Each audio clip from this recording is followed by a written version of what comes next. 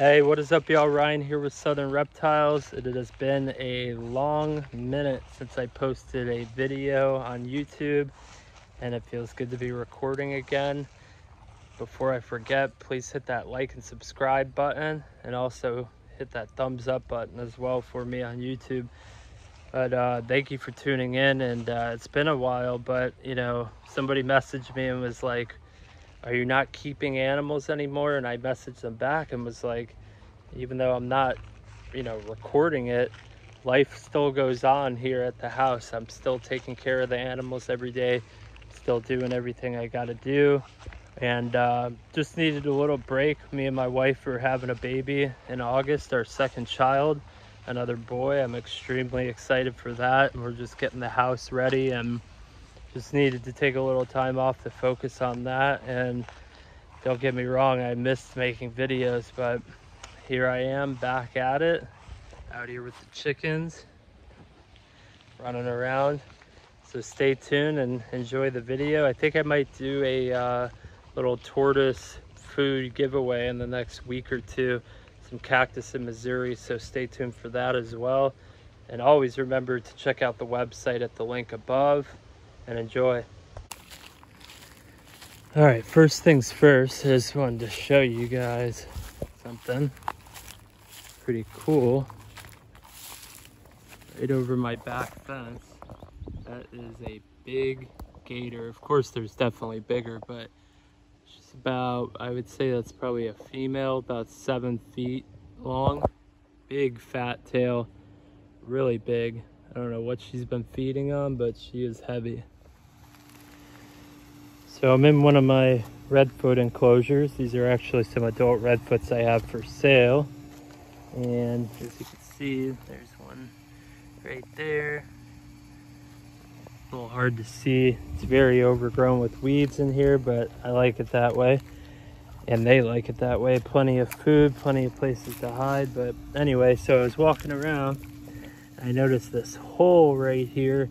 And you know, maybe at first I would have thought that was a raccoon hole, but generally raccoons are extremely messy. They're not trying to hide anything like a tortoise would be. A tortoise is trying to be as discreet as possible to basically stop predators like a raccoon from coming and digging up the nest. So it looked like one of the female redfoots that's in here probably dug a hole right there, gave up on the nest for whatever reason. She might have hit a tree root so then I looked over here and noticed that the ground is very disturbed. Sometimes like we'll have big balls of grass like this and they'll try and or they will lay a nest right next to a big ball of grass like that. So I saw the ground was kind of disturbed. It looked like something kicked all these pine needles from the pine trees up above kind of over it. And then I noticed that there was this little stick wedged into the dirt as well. So figured something dug here, so let's check it out. And there you go. So that's the white of an egg.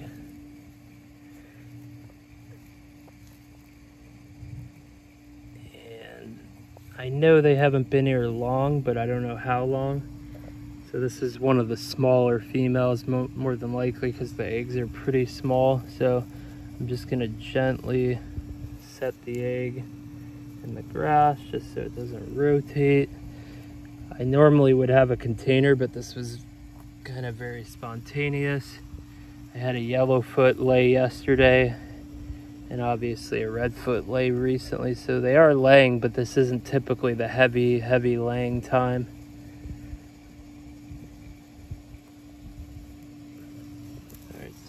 three eggs.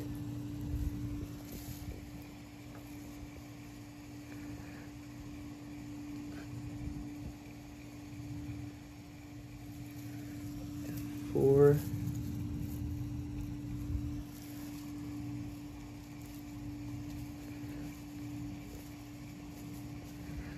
All right.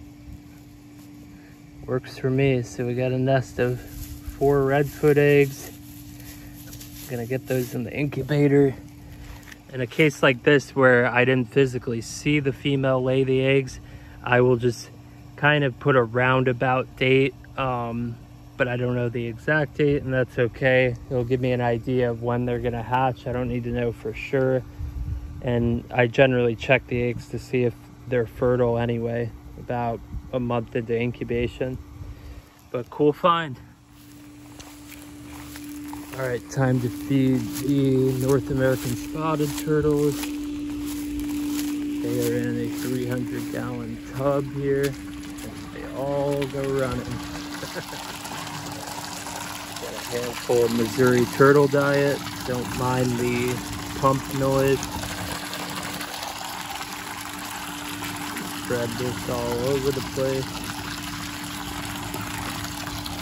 And they go to town.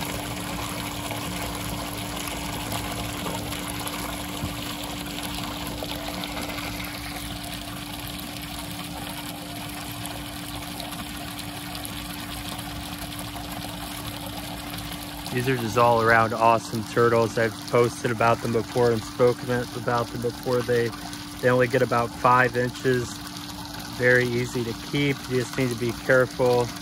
Um, they don't swim very well, so you got to give them plants to be able to cling onto like I have here. And you don't want to keep them in too deep of a setup. As hatchlings, I only keep them in about two inches of water. But they're just a beautiful turtle.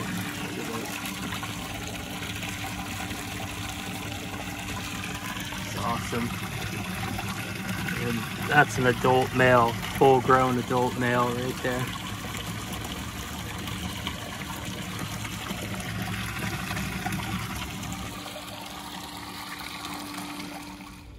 Just tell me that is not the most beautiful turtle you have ever seen in your life.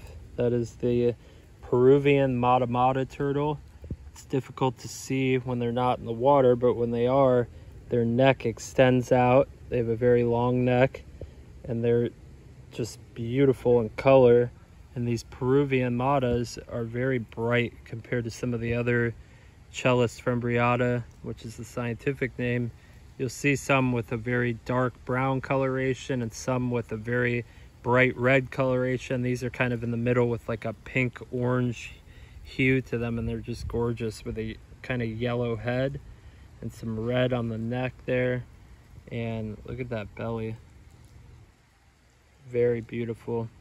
I have three of these left, captive born babies, and they're just feeding on live minnows. You can feed them rosy red minnows, which are usually sold at every pet store, and they're just awesome. I have two giant matamatas in my pond, and they are just so, so cool. I love them so much, and they do get big, but they do not move very much, which is a good thing about them. They are a very kind of docile turtle. As you can see, this one's starting to get comfortable now and moving, but they sit still and they're just an ambush predator. They don't really go searching for food. They're very similar to snapping turtle where they go after, they, they lie in wait for a fish to swim by and then they eat it up very quickly. They suck it up almost like a vacuum cleaner. It's very cool. There's my turkey walking around right there. But anyway, just figured I'd show you a quick clip of that. Okay, so next to this enclosure, I just wanted to show you as I was walking by, I have some nice papaya plants growing here. And these ones are about, I would say, five and a half feet tall. Those are newer ones that sprouted. And these are some older ones that are about nine, 10 feet tall. You can see some fruits growing on them there. And then on that one, you can see some flowers blooming where the fruit's about to grow.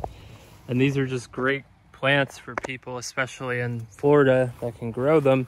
They just, they offer ample shade. They offer the fruit, obviously, and papaya is not cheap, especially if you're buying three, four, five at a time. But the leaves as well, the leaves will fall off as the plant continues to grow. And you can see these guys love the leaves. They eat the stem, they eat the leaf itself, and they love it very much. These are two adult redfoots. One's a hypo, and one's just your regular typical redfoot. Both are beautiful and both are chowing down. You can see they're just hanging in the shade over here. It's really hot over there. And they're just hanging out in the shade, chewing on some leaves and it's always good to offer ample shade during the summer because they need to get out of that hot sun. These guys are a rainforest species. and that deep shade is what they really need. So I figured I'd just show you guys that. Okay, so I'm just feeding a little Opuntia cactus to my spider tortoises. The one on the left is actually the youngest female I have, and the one on the right is the oldest male I have. And now, I don't know that for sure, but I go off just by looking at the shell, and you can clearly see how the, the female on the left has that very distinct, clear-cut pattern, and the one on the right, the male, has a very kind of opaque, uh, you know, faded pattern, which tends to happen due to just age, really. Um, of course, in captivity, that fading of the color is probably slowed down, but um, it definitely happens. Here comes somebody else. So I have four males and five females, and these are extremely hard to acquire. I was very blessed to get my hands on a group of these, and they're just doing phenomenal. They're a little dirty on this organic topsoil, but they seem to like it a lot.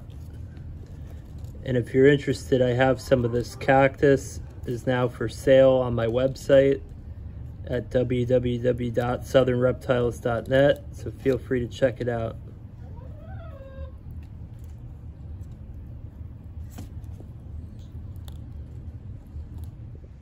All right, everybody, that is it for today. Thank you for watching the episode. I had a great time. Glad to be back posting some episodes on YouTube. I am actually getting ready to jump in the truck and head out to FedEx. I have four orders to drop off at the FedEx Ship Center, going all over the country Texas, Louisiana, Pennsylvania, and California. So, thanks again for supporting the business and supporting the channel. Please remember to hit the like button the thumbs up button, subscribe, and stay tuned for more episodes. Have a good night.